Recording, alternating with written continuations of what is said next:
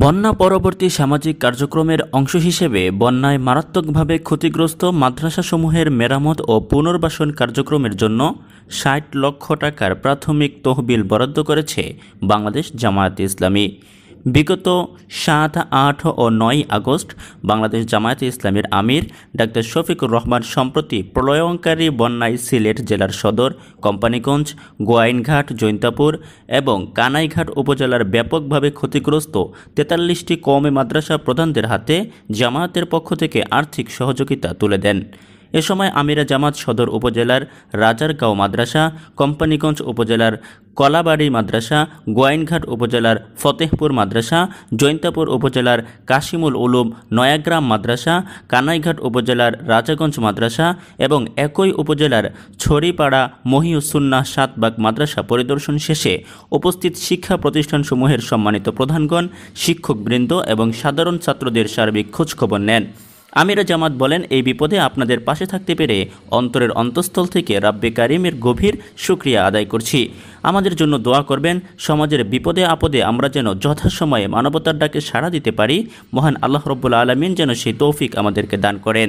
এ সমস্ত প্রতিষ্ঠান পরিদর্শনকালে আমিরা জামাতের সাথে উপস্থিত ছিলেন জেলা ও স্থানীয় জামাতের নেতৃবৃন্দ। আমিরা জামাত সম্মানিত শিক্ষক মণ্ডলী ও ছাত্রদের সাথে মতবিনিময়কালে জাতির এ সংকটপূর্ণ মুহূর্তে ওলামাই ক্রামকে অতীতের মতো গুরুত্বপূর্ণ ভূমিকা রাখার জন্য আহ্বান জানান। এ সময় আমিরা জামাত শিক্ষা প্রতিষ্ঠানসমূহের যে ক্ষয়ক্ষতি হয়েছে তা পুষিয়ে দেওয়ার জন্য মহান রব্বুল ইজ্জতের দরবারে খাস সাহায্যের জন্য দোয়া কামনা করেন। পাশাপাশি প্রতিষ্ঠানগুলো উত্তরোত্তর যাতে সমাজে এলমে দিনের শিক্ষা বিস্তারে গুরুত্বপূর্ণ অবদান রাখতে পারে, সেজন্য মহান মনিবের দরবারে বিগলিত চিত্তে দোয়া করেন।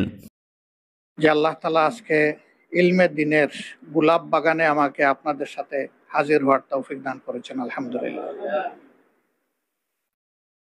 আপনারা সবেই এক একটা গোলাপ ফুল না, গোলাপের বাগান। যেই বাগান থেকে সৌরভ এবং সুগন্ধি চতুর্দিকে ছড়ায়।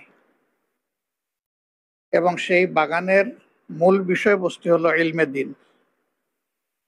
সেই ইলমে দিনের খেদমতে ঢাকা এই অঞ্চলের গুরুত্বপূর্ণ মাদারিস, মারাকিজের সম্মানিত মোহতামিম বৃন্দ শায়কুল হাদিস বৃন্দ এবং উস্তাদ বৃন্দ। সাথে সম্ভবত আমাদের কিছু তালবাও তারা আছে।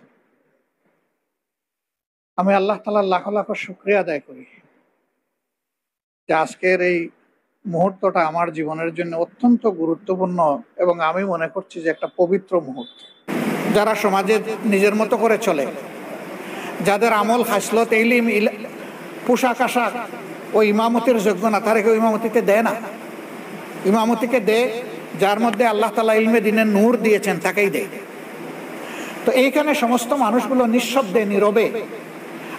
ইমাম সাহেব যেভাবে তাকে পরিচালনা করছেন, নামাজে সেইভাবেই আল্লাহ তালার শেষদার উপু এবং তামাম এবাদত ক্যামের হালতে, তাসাউদের হালতে কোনো ভায়োলেশন কেউ করে না, অমান্য করে না। হ্যাঁ জিন্দা মানুষগুলো তার জীবনে এটা করে। আর এদের মধ্যে আমরা যখন বিদায় নেই কেউ কেউ, তখন ওই মানুষটা যে পিছনে একতেদা করত, তখন ওই মানুষটাকে সামনে রেখে হয়তো একই ইমাম সাহ আল্লাহর দরবারে তার মাফিরাতের জন্য সবাইকে নিয়ে দোয়ায় আকবার তিনি আঞ্জাম দিচ্ছেন, জানাজা পালন করছেন। তো মক্তদি তো মরার পরেও আমার মক্তদি মক্তদি জীবিত অবস্থায় আমার মক্তদি। তাইলে ইমাম সাহেবগণ হচ্ছেন ইমামুল হাইয়া ওল মাইয়া। হায়াতে জিন্দেগিতে যারা বেঁচে আছে তাদের ইমাম। আবার মরে যাওয়ার পরে তাদেরও ইমাম, তাদের জানাজার ইমাম।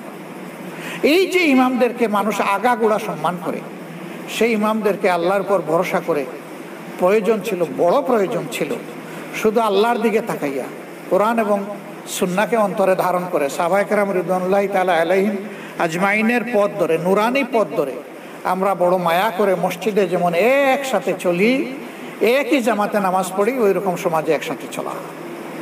যদি এই কাজটা আমরা করতে পারতাম, এটা তো আল্লাহরই হুকুম। আল্লাহ তালাই তো হুকুম করেছেন, এটা তো কোনো নফল ব্যাপার না।